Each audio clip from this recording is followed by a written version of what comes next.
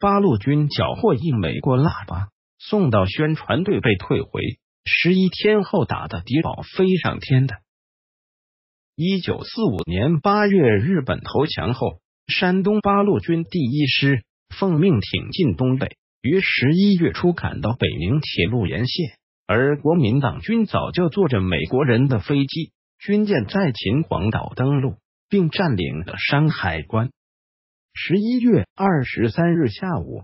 一师两团由山海关以北的新城向锦西挺进，在旧门与敌五十二军遭遇，打了三个多小时，毙伤敌人二百余人，并抓了十几个俘虏，缴获一部分美式武器，其中有一个钢筒子，谁也不知道这是什么东西，上缴到了师军械科。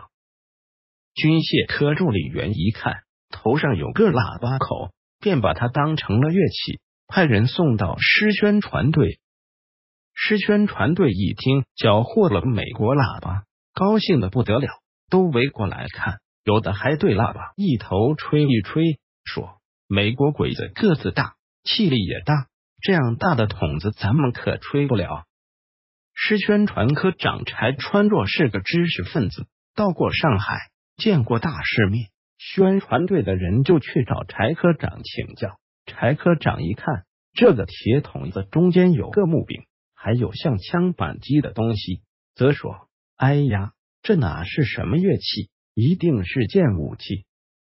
可是什么武器，他也说不出来。”正在众人七嘴八舌的猜测时，师长良心出来了。大家问师长：“这是什么武器？”他也从未见过，搞不清楚，便对柴科长说。你学过英文，给翻译翻译。可柴川若上学时学的英语都是些民用单词，怎么也拼不出武器名称来。说似乎是什么火一类的东西和剑一样。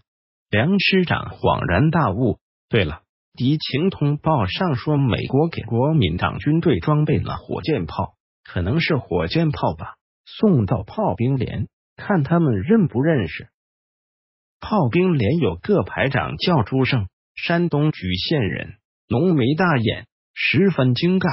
虽然没上过什么大学校，但他好读书，什么三国、水浒都看过。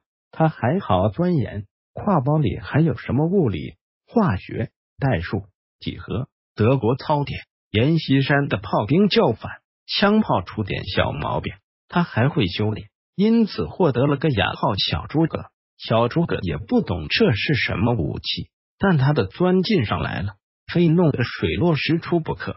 就扛着钢筒子到俘虏队请教，正好俘虏队有个火箭炮手，一见就说这是火箭炮，我在那面就使得他。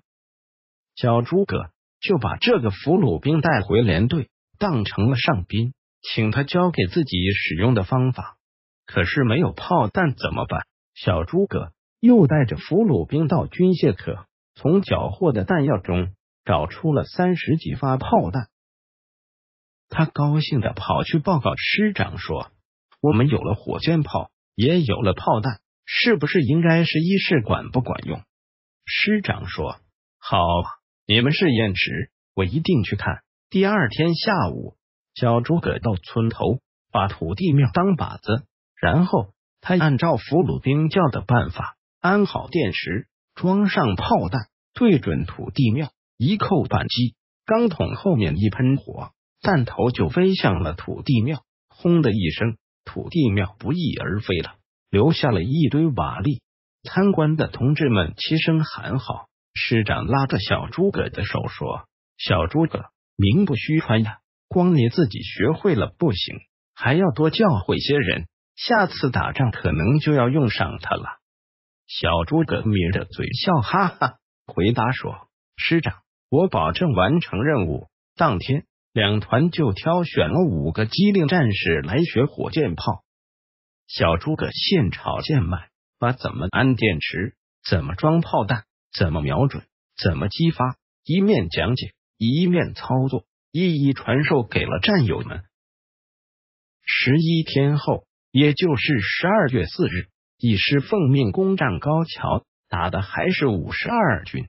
这一仗，火箭炮派上了用场，对准敌人的地堡，发发命中目标。